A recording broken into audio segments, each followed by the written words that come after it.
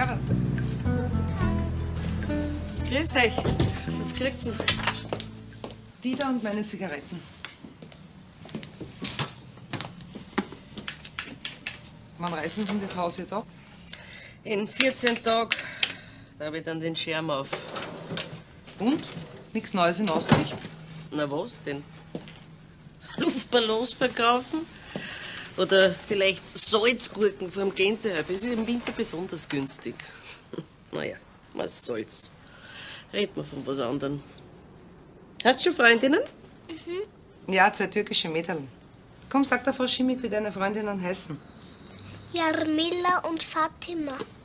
Das sind aber zwei schöne Namen. Dürfen unsere nicht mit ihr spielen, weil die Mama. In der Bib schon arbeitet? Genau so ist es. Lauter Arschlöcher. Magst du ein paar Schnitten? Ja, bitte. Na, wie sagt man da? Danke. Na gut, gehen wir, ha? Was strickst du denn da Schönes? Ein Jankerl für den Gusti. Hoffentlich wäre ich fertig, bevor der Winter vorbei ist. Naja, jetzt habe ich genug Zeit zum Stricken. Servus.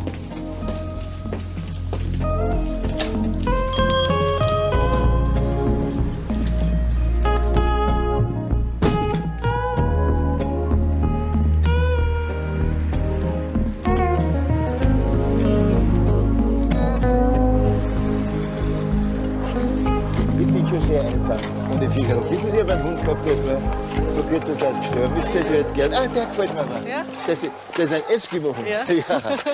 Ja. ja, sag einmal, wie heißt du denn? Wuzi, ein Weiberl ist das, drei Jahre alt. So ein Weiberl. Hm, Mag ich nicht eigentlich ein Weiberl.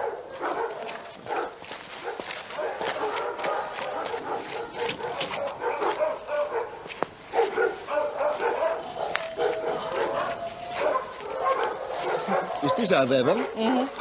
Danke. Ja. Das sind Hexi, Maxi und Rolfi. Das ist der Rolfi, das ist ein Rüde. Das ist nicht der Rolfi, das, das ist der Bezirksrat. Der, der, der muss ein Wundergeschenk sein. Der, der, schaut, wie mir ausschaut. Der, der kennt mich. Der weiß, dass ich sein Herr bin. Gell? Du kennst deinen alten Kudanak wieder. Ja, genau. Den haben wir von Vöcklerbruck geholt. Der war sein Leben lang nie in Wien. Da muss eine Wiedergeburt muss da geschehen sein oder sowas in den. Mach's mir schnell auf, damit ich zu meinem Viecherl komme.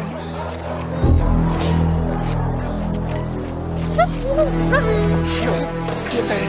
Lass ihn wieder auf. Der Bezirksrat. Ich. Jetzt bringt uns niemand mehr auseinander, gell? Schau, schön, ja. Es ist er. Er, hat immer die Mandeln noch. Komm, so, jetzt gehen wir miteinander. Oh, ja, ja, ja, jetzt haben wir uns, gell?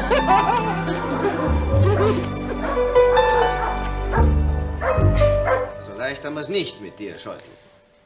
Erst machst du uns einen Sexskandal in Ungarn und dann schickst du uns deine Dings da, deine äh, Lebensgefährtin oder was die ist, damit wir dir helfen, weil du dein Geschäft in den Graben gefahren hast.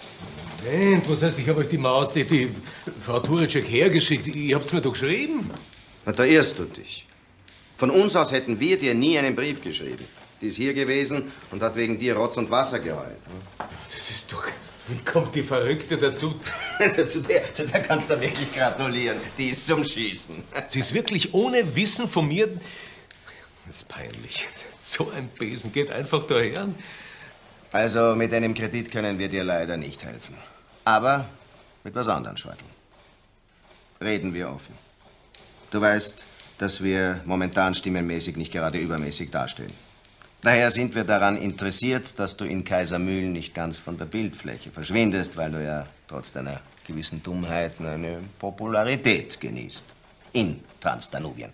Wie darf ich das verstehen, Kohlmann? Wir wollen dir den Bezirksrat erhalten. Wenn man sich am Riemen reißt, dann kannst du wenigstens verhindern, dass wir in Kaisermühlen noch mehr Stimmen verlieren. Ergo sind der Präsident und ich übereingekommen, dass wir dich nicht ganz fallen lassen, sondern dir einen Posten bei uns im Haus anbieten. Also, wannst in Kaisermühlen wohnen bleibst, ne? Ja, Heißt das, ihr werdet mich zum Kamerad machen? Nicht direkt, Scheutel. Dazu fehlen dir ja wirklich alle Voraussetzungen. Wir bieten dir einen Posten als Angestellter. Also kein Weltwunder, logisch, aber immerhin mit einem Gehalt in der Größenordnung von, sagen wir, naja, also 30.000. Ne? 30.000? Hm. Ich weiß jetzt nicht, was ich dazu sagen soll. Vielleicht müsste ich so zuerst einmal die mit äh, meiner. Mit deiner Frau Turicek brauchst du gar nicht reden. Das ist quasi in Ordnung. Ne? Was? Ich habe ja gleich gesehen, wer von euch zwar die Hosen anhat. Dich habe ich ja nur hierher gebeten, weil das unter kultivierten Menschen quasi zum guten Ton gehört. Hm? Also, was ist? Sagst du ja? Oder was? Ohnehin schon alles ausgemacht worden ist, dann. Ja, gerne. Bitte. Servus. Servus. Na, was grinst denn wie ein Hutspert? Hast du im Rubeln gewonnen? Viel besser, Mama. Dem Abdul seine Eltern kommen am Freitag. Na und? Na, zu uns auch, Mama. Weil sie schauen wollen, wie die Braut von Abdul lebt und mit dir als Mutter über die Heirat reden wollen. Ich geh von lauter Freude direkt einen Putzelbaum machen. Mach lieber keinen. Putz die Fenster, räum dein Zimmer auf, sonst rennen dem Abdul seine Eltern gleich wieder fort.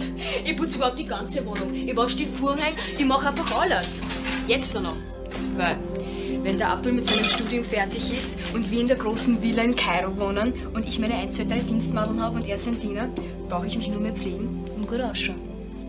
Bremst die ein. Schon lieber die Erde, ich mach dir die Brotwürsteln. Ah ja, Mama, das ist ein Brief für dich. Von der Austria Tabak. Kannst wegschmeißen, da steht eh nur drin, dass ich die Trafik aufgeben muss. Na, aber reinschauen tät ich schon. Darf ich? Wenn's du willst.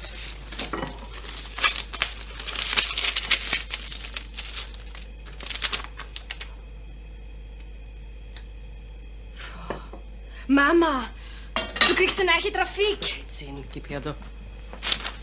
Na, da schon eine. Was freuen wir uns, Ihnen, falls Ihrerseits Interesse besteht, die unvorhergesehen freigewordene Trafik in der Schüttaustraße zu üben. Das ist ja die Goethe. Ja! Das wird nicht mehr was. Ich werde an. Ich glaube, ich kriege einen Herzinfarkt. Das ist die schäbiglose Trafik. Es ist doch wurscht. Heute uns- ist für uns beide ein Glückstag, Mama. Das ist ganz.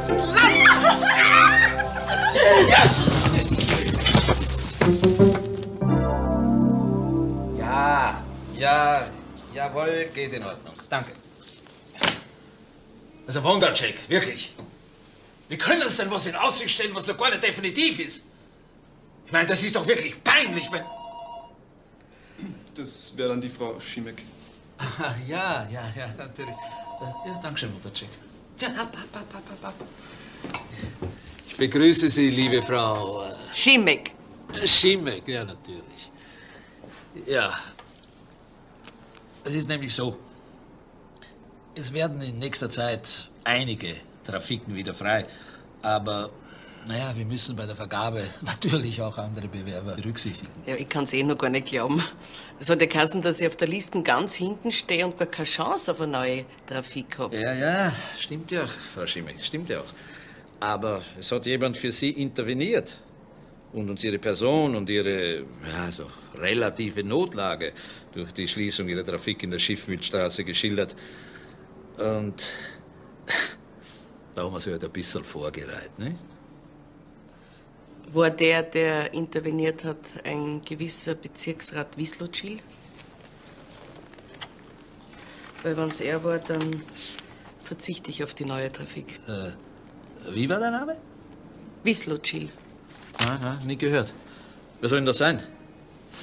Nein, nein. Wer für Sie interveniert hat, liebe Frau Schimek, das war der Hofrat Gampernick. Den kenne ich wieder nicht. Aber er Sie, Frau Schimek. Er ist Kunde bei Ihnen. Er kauft seine Virginia bei Ihnen. Und daher weiß er auch von Ihrem Malheur. Virginia, ist das so ein kleinerer Herr mit einem gepflegten Schnurrbart? So ein bisschen älter? Jawohl, genau. Das ist der Hofrat Gampernick. Ist ein guter Freund von mir. Mit denen habe ich noch keine drei Sätze geredet. Der hat mich zwar einmal. Ist ja wurscht. Ich danke Ihnen auf alle Fälle, Herr Direktor. Danken Sie sich lieber beim Hofrat Kampernick. Aber Sie können schon langsam anfangen, auf die Ablöse zu sparen. Denn eine von den freien Trafiken bekommen Sie auf jeden Fall. Und schon demnächst. Ablöse, äh, Moment, wie hoch wird denn die sein? Bei reich oder was bin ich nicht? Naja, auch da werden wir eine Lösung finden, nicht? Gegebenenfalls werden wir Ihnen heute mit einem kleinen Krediterl unter die Arme greifen. Ich danke Ihnen vielmals, Herr Direktor. Ist schon recht. Wundercheck! Bis Anfang nächster Woche bringen Sie diesen ganzen Ballerwatsch hier in Ordnung. Verstanden? Und dann werden wir Ihnen auch sagen, wo Ihre neue Trafik liegt, gnädige Frau. Die schauen Sie sich in Ruhe an und dann machen wir den ganzen Papierkrieg. Gell, Wundercheck? Danke.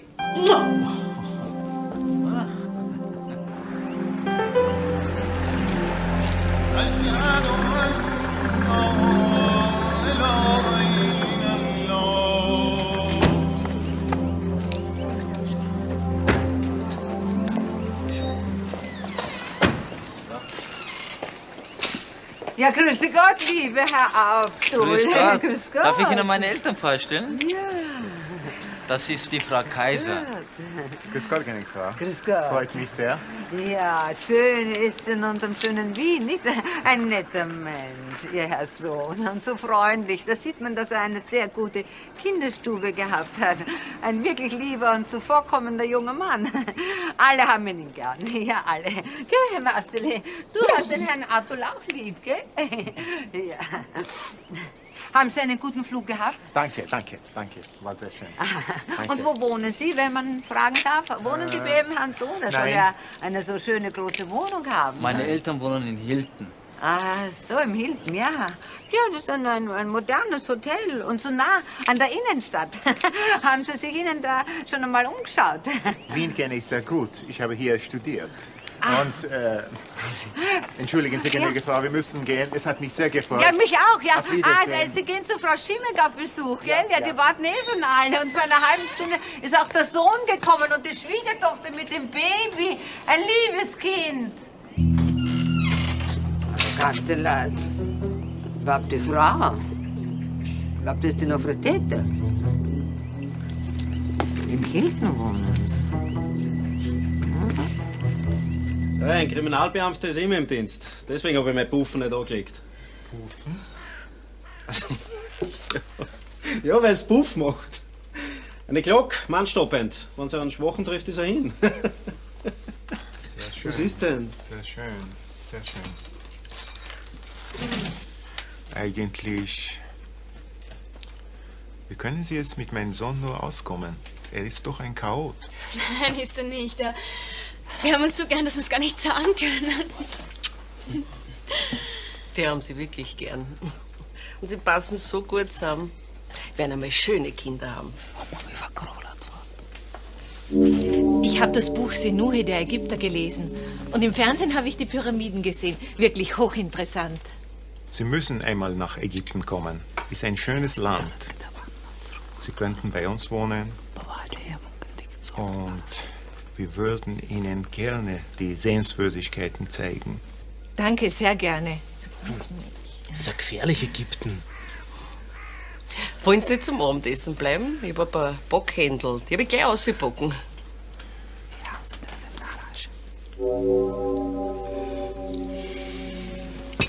Entschuldigen Sie, gnädige Frau. Wir haben bereits eine Verpflichtung mit unserem Sohn und einigen Freunden. Danke Ihnen. Ja, wenn schon was vorhaben, vielleicht können wir morgen irgendwo was essen. Nur Sie drei, die, die, die Mama und ich oder. Alles wird gut.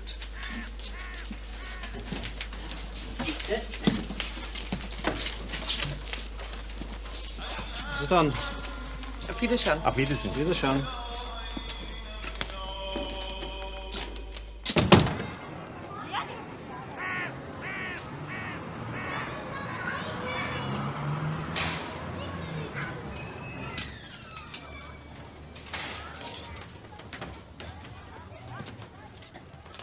Guten Tag.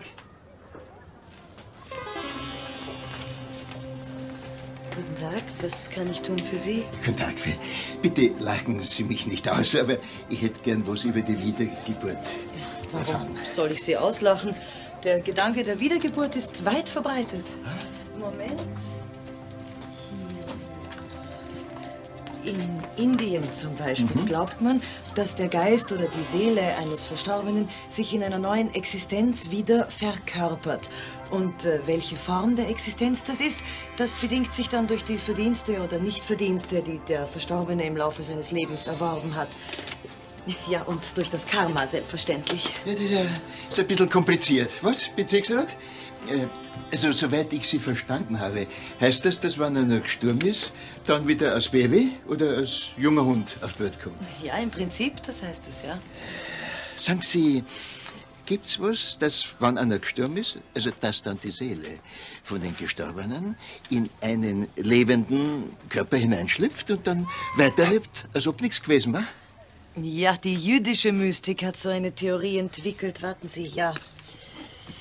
Die sogenannte Seelenschwängerung. Sie besagt, dass die Seele eines Verstorbenen in einen Lebenden schlüpft und dort lebt, wobei es dann unerheblich ist, welches Alter der Lebende hat. Die sogenannte Dibuk-Theorie besagt dann weiter, dass... Ich verstehe. Die Seele von den Verstorbenen lebt dann im Körper von den Lebenden weiter. Ja, zufrieden? Vollkommen, danke, braucht das nicht mehr. Äh, ich wollte Ihnen nur sagen, wissen Sie, der, mein Hundel da, der Bezirksrat, ist nämlich nicht mein alter Bezirksrat. Trotzdem aber doch. Kommt da, alter Dibok. Also, wenn es mich fragt, der gibt's da wohl noch nicht. Das ist überhaupt nicht wahr. Denen ist halt alles fremd. Die müssen nur ein bisschen auftauen. Das glaube ich auch. Der Vater ist ein netter Mensch. Ja, aber die Mutter, die schaut einer an wie die Mündung von einer Anaconda. Wie was? Holt Anaconda Revolver, der Jobberl. Du und deine Puffen. Hast du nichts anderes im Schädel? Was ist denn? Ich, ich hab doch nur gesagt, wie mir dem Abdul seine Mutter vorkommt. Die mag uns nicht. Für die alte Biskon sind wir da nur Scheißdreck. Gustl, nicht vor dem Kind. Okay, der Kleine versteht eh noch nichts, gell? Außerdem muss die bei Zeiten an die Reden von die echten Männer gewinnen. Aber nicht ans Reden von einem Ungustl, wie du ans bist. Oh, Den Abdul seine Moment, Eltern sind nur wegen dir nicht zum Nachbarn geblieben, weil du entweder die ganze Zeit ordinär oder deppert geredet hast. Ich, der dich Trottel, auch nicht zum Verwandten haben wollen. Ist der schon Humpel. So, heute ein bisschen zurück. Immerhin ist deine Schwester. Ja, aber. Also, wenn sie die Weiber in Ägypten so aufführen, fällt der Watschen vom um. Du bist aber in Kaisermühlen und holst jetzt dein Pappen. Du wirst auch nicht bei der Hochzeit dabei sein, wenn die Ines den Abdul heiratet. Sowas wie die kann man ja nicht unter die Leute lassen. Was gehst denn jetzt auf mich los, Mama? Ich meine, ich hab mich eh total nett unterhalten. Bitte kein Mülltreiber.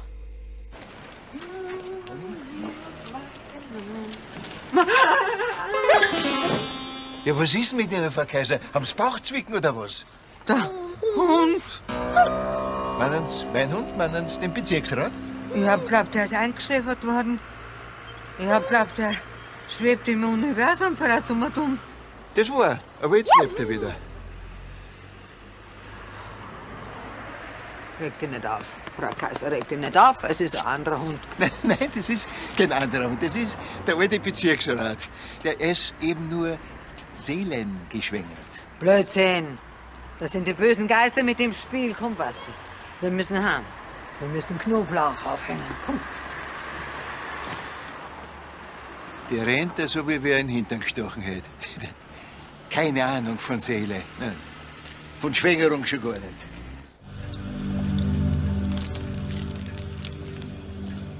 Nichts Schöneres, als im Bett liegen und sich im Fernsehen die große, weite Welt anschauen.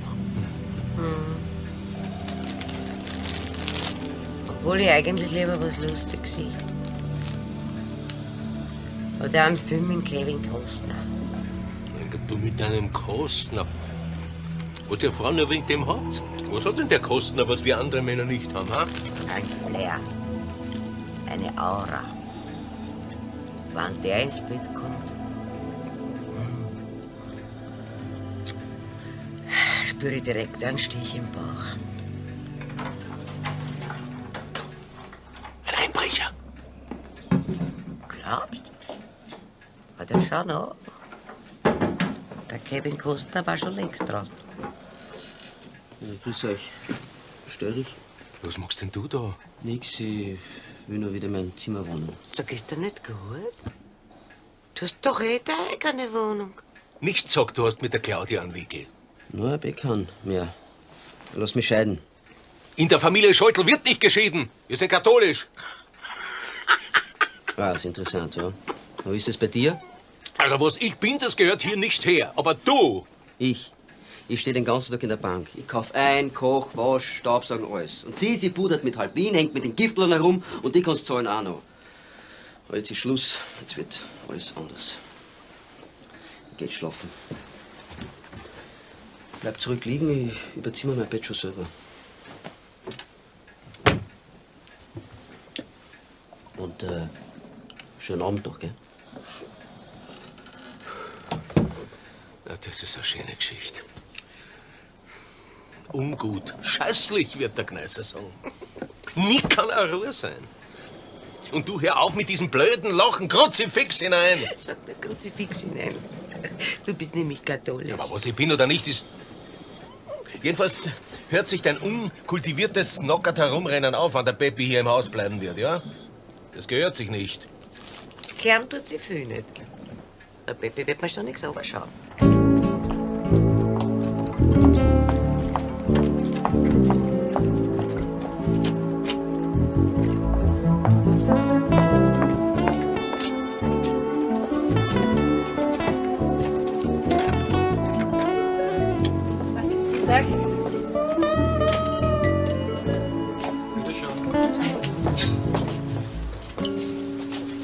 Gerne gehabt? Ich möchte die Frau Müller sprechen. Bitte. Ja, das bin ich. Und Sie sind die Frau Schimek. Sie haben die Trafik in der Schiefmühlenstraße, gell? Gehabt. Jetzt soll ich ja Ihre übernehmen. Ja, ja, ich habe gehört davon. Äh, Das ist die Frau Horak, meine Verkäuferin. Guten Tag. Ehrlich und sehr verlässlich. Die, die könnten Sie eigentlich gleich mit übernehmen. Das kann ich noch nicht sagen. Weil vielleicht nehme ich meine Tochter als Hilfe. Also, ich hätte schon gern bei Ihnen bleiben. Ich mein, ich war halt eingearbeitet und ich kenne alle Kunden da. Werden wir es überlegen. Sagen Sie, warum wollen Sie so eine schöne Trafik aufgeben? Das muss ja ein Goldgruben sein. Ich gehe nach Amerika. Zu meiner Tochter und zum Schwiegersohn. Der ist Arzt in Florida. Das ist ein Zufall. Meine Tochter wird wahrscheinlich auch ins Ausland heiraten, auch einen angehenden Arzt nach Ägypten. Sehr reiche Familie. Dann wünsche ich ihr so viel Glück, wie meine Ingrid mit Johnny hat. Danke. So, Frau Horak, Sie machen eh weiter. Wir gehen ein bisschen nach hinten, Frau Mhm. Schimek, ja? Sagen Sie, die Sachen da im Kasten, die teuren, die verkaufen Sie alle? Ja, freilich. Also in meiner alten Trafik war ich da ewig drauf sitzen geblieben. Na, na, da nicht. Das ist ein ganz anderer Kundenkreis. So, jetzt gehen wir und reden bei einem Charlotte Café über alles, ja? Gern. Tag. Ein Packerl. Warte bitte. Danke. Warum bleibst du stehen? Kann Sie was fragen? Dann frag doch. Alle Leute heiraten. Mann, Frau. Ja, und? Franzi möchte. Franzi möchte. Na, was möchte der Franzi denn? Franzi möchte Hilde heiraten. Ich kann dich nicht heiraten. Warum? Alle Leute heiraten, außer Frau Kitty. Warum Hilde nicht Franzi heiraten? Weil ich jemanden anderen heirate. Einen Kollegen aus dem Büro, du kennst ihn nicht. Der heißt Georg und er hat mich sehr lieb und ich ihn auch. Warum Hilde nicht Franzi lieb? Weil. Weil ich halt den Georg hab. Nicht böse sein, Franzi. Dich habe ich ja auch lieb, aber halt anders. Nein, Hilde Franzi nicht lieb. Franzi niemand lieb. Franzi allein, Franzi böse. Vergessen, dass Franzi fragen wegen Heirat. Aber Franzi, bitte. Wenn Hilde heiraten, fort aus Gemeinschaftswohnung. Franzi besser tot. Friedhof. Bleib doch da, ich möchte doch mit dir reden. Nix reden, nix fragen, nix sagen. Franzi allein. Besser so.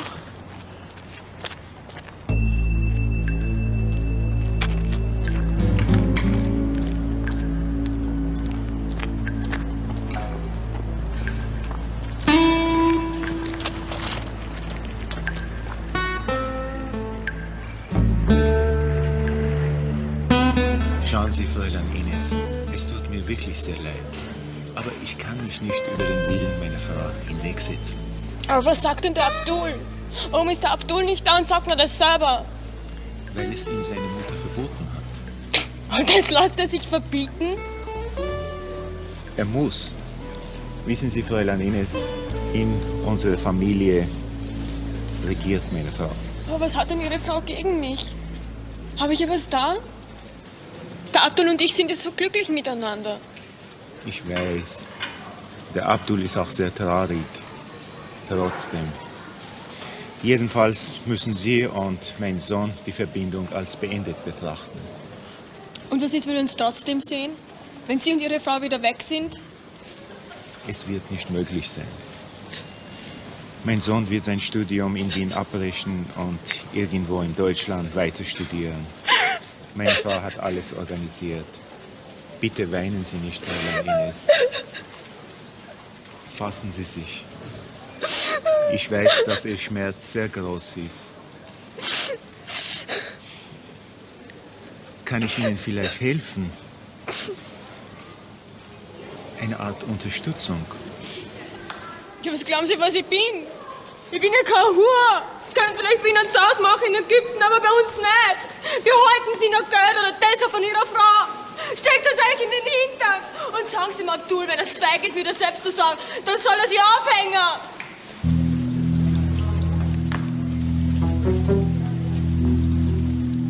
Natürlich habe ich das machen müssen, Frau Pieper. Bin ich der Mensch, der einen anderen ins Unglück rennen lässt?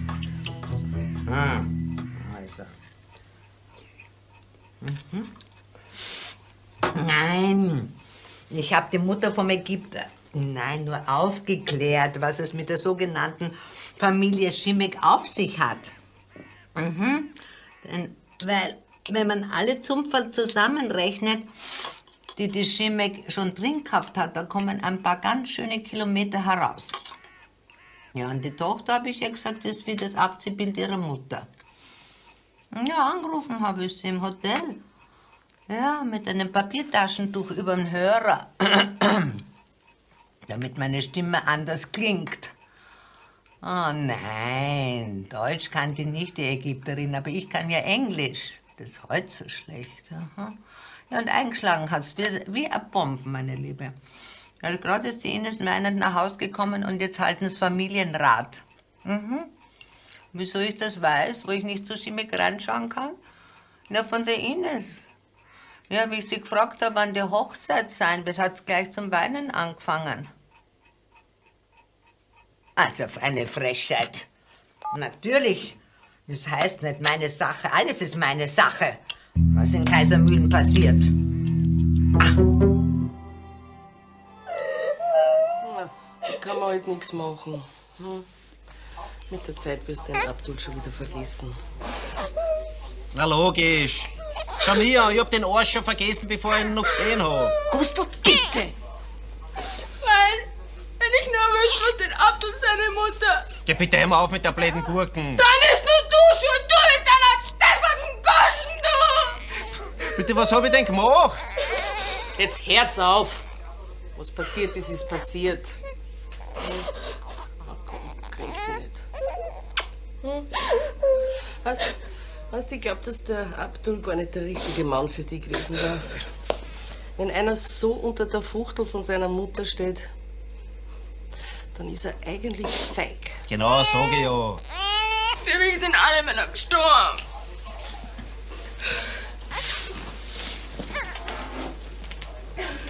Außer uns, Gusti, gell? Naja, ist eh gescheiter, dass die ganze Geschichte ins Wasser gefallen ist. Mein Gott, was ich da als Staatsbeamter alles mitmachen muss in der Familie, ist eh ein Wahnsinn. Zuerst ein Neger, dann ein Araber. Wenn ich, wenn ich jetzt im Dienst war, war das eine volle 269er Mama. Widerstand gegen die Staatsgewalt.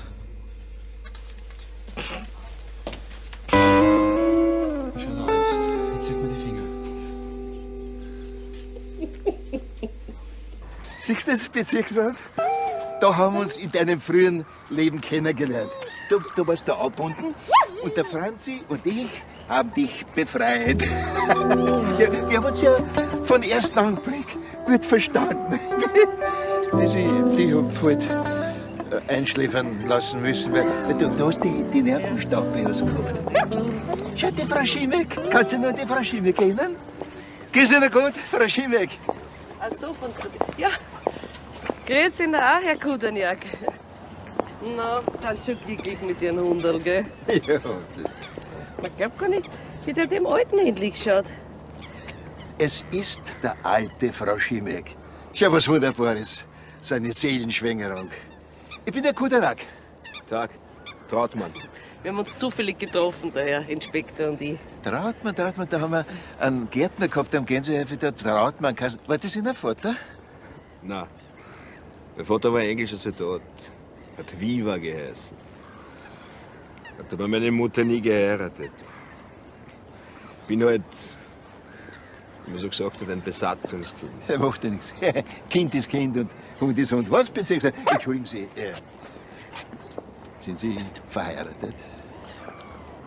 Na? Äh, Es geht, geht mir ja nichts an, aber ähm, ich an Ihrer Stelle werde mich an die Frau Schimmig halten. Das, wirklich, Herr Trautmann, das ist ist eine wunderbare Frau. Wiederschauen. Wiederschauen. Auf Wiederschauen.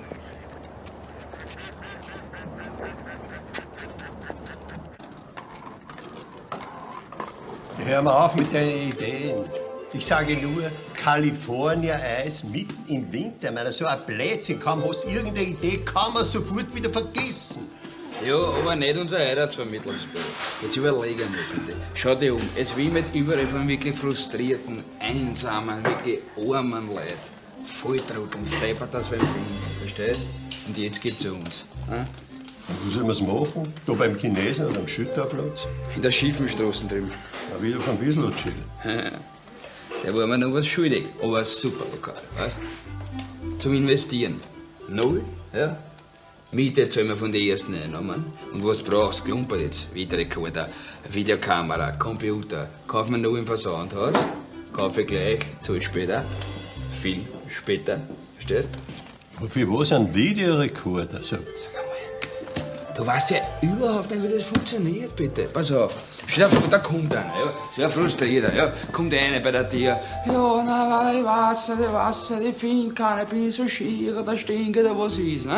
Sagen wir, na, passen Sie auf, wir machen ein Video von Ihnen, zeigen wir als Referenz die Video von den Hosen, was wir haben zum Beispiel schon, ja. Der sieht dann und sagt, ja, boah, das aber lieb, haben Sie nicht da oder so?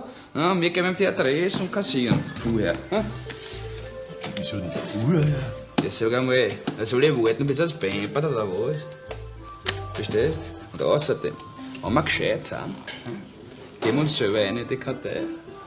Weißt du, es kommt eine, irgendeine Reiche mit einem Geld, ist eh gnad. Oder eine mit einer Wohnung, war auch nicht schlecht. Ne?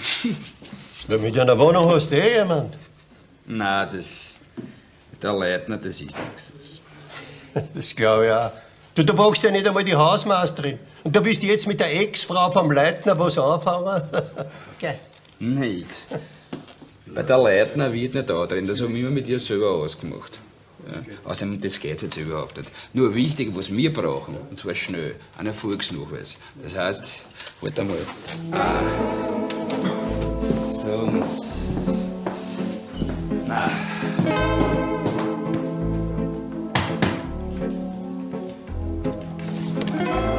Hallo, Meister der Kochkunst. Frage, bist du mit einer Zuckermaus verheiratet? Nein. Super. Und jetzt sag ich was. Good news for you. Ihr zwei könnt jetzt endlich heiraten. Über unser Büro. Hm? Machen wir keinen Reklamepreis, was? Nix für Klammerpreis. Ich nix volle heiraten. Moment, na, um das geht's ja nicht. Du, sag ihm das. Es heiratet's nicht wegen euch zwei, es heiratet's wegen uns zwei. So ist Erfolgsnachweis. Hm? Danke. Danke. Ist ein Sonderheft. Wiedersehen. Wiedersehen. Wiederschauen. Schauen Sie, es drängt ja nicht so. Ich fahre nicht morgen nach Amerika, sondern erst in sechs Wochen. Und dann können Sie mir das Geld von der Ablöse auch nach Orlando überweisen. Das ist ganz lieb, danke schön. Ich werde sicher nicht ums Haxel hauen. Ja, Frau Horag, es tut mir leid, aber Ihnen kann ich nicht nehmen, weil meine Tochter sucht dringend einen Job. Ich werde mir schon was anderes finden. Aber ja, Sie sind ja noch jung. Na sehr gut, also wann soll ich es jetzt übernehmen? Na, in einem Monat? Ja, soll ich nicht ein paar Tage früher kommen, dass ich die Kunden kennenlerne und den- Hausbrauch? Ja, das ist eine gute Idee. Wann könnten Sie denn? Ja, was weiß ich, sagen wir in 14 Tagen? Das wird passen. Also dann, wiederschauen. Ich, Frau Horak. Ja, wenn eh nichts mehr ist, dann kann ich jetzt gehen, ne? Auf Wiederschauen. Auf Wiederschauen. Es tut mir leid wegen Ihrer Verkäuferin. Gehen Sie, wenn Sie eine Tochter haben. Was tut man nicht alles für die Kinder? Wem sagen Sie das? Also, Wiederschauen. Danke.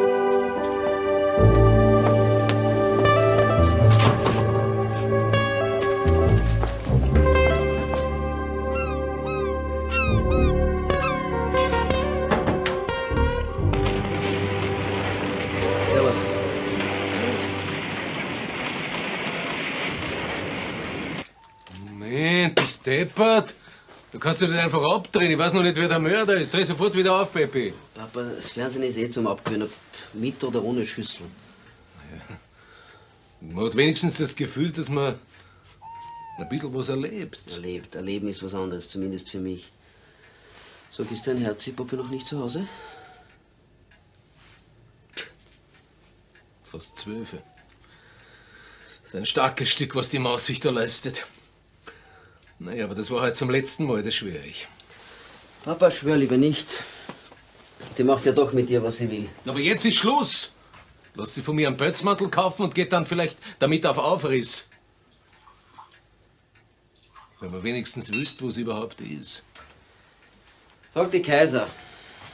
Die weiß das sicher. Na, danke. Und draußen steht das Geschirr von zwei Tagen. Wo kommen wir denn da hin? Dorthin, von wo du nie wegkommen wirst, Papa. Aber ich hab's hinter mir. Gott sei Dank. Ich bin seit heute früh geschieden. Und ich gehe fort. Für immer. Was? Aber, Peppi, das, das kann doch nicht dein Ernst sein. Oh ja? Dein Sohn macht es nicht mehr mit. Der hat sich viel zu lange auf der Nase herumtanzen lassen. Von dir, von der Oma, von der Claudia, vor allem von dir. Ja, Moment, wie redst du eigentlich mit deinem Vater? Ganz ruhig. Von Mann zu Mann. Aber dir bin ich eigentlich eh nicht böse. Von dir gehe ich ja im Guten. Ja. Was hast du denn vor, um Gottes Willen? Was wichtig ist. Ich lasse mich von meiner Bank nach Moskau versetzen. Wir machen dort eine neue Filiale auf. Morgen um 10 sitze ich schon im Flugzeug. Was, du, du willst nach Russland? Freiwillig? Ja, wohin denn sonst? Nach Ungarn kann ich ja nicht. Dort hat sie unseren Ruf versaut auf Generationen. Jetzt hör doch zum Warner auf, ist ja lächerlich. Der Hausinspektor soll sich nicht so aufbudeln. Tut er aber. Er hat gesagt, er duldet keine Unanständigkeiten in seinem Gemeindebau. Aber was der angeschaut hat an mir, so was sie selber am allermeisten welche von mir wünscht. Es ist so ein alter Wichser. Das Ding geht doch nur was an, was die Leute im Haus machen. Dass sie einen Zins zahlen und das nichts ruinieren. Aber was außerhalb machen, das kann einem doch wurscht sein.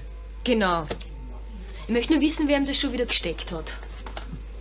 Die Frau Kaiser hat er gesagt. Und dass sie auch für die anderen Mieter spricht, für die Anständigen. Der depperten Kaiser soll mir links und rechts eine Auge hauen. Dabei ist jedes Mal sowas von scheißfreundlich, wenn sie mit der Bier gezicht. Ein paar Mal hat es der Kleinen auch schon eine Schokolade gegeben. Und hat gesagt, da hast du arme Kleine. Der hat sicher darauf angespielt, dass ich eine schlechte Mutter bin. Er gibt den Aschen wieder. Jetzt geht mir das überhaupt erst ein. Weißt du, was ich mache, wenn ich das nächste Mal die alte. Weißt du, was ich dir erzählen werde? Ich sage Du das wirst auch- dir überhaupt nichts erzählen.